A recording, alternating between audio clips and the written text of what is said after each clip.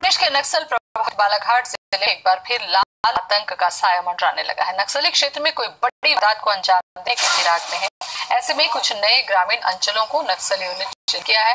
जो गढ़ी थाने क्षेत्र के कवर्धा, कबीरधाम और मंडला से लगा हुआ है, जहाँ वो अपनी पैड बनाकर घूम रहे हैं। सूत्र बताते हैं कि नक्सलियों ने इस क्षेत्र में एक नया ग्रुप तैयार किया, जो गाँव गाँव में जाकर ग्रामीणों की मीटिंग लेकर नए युवाओं को ग्रुप में शामिल होने का लालच दे रहे हैं।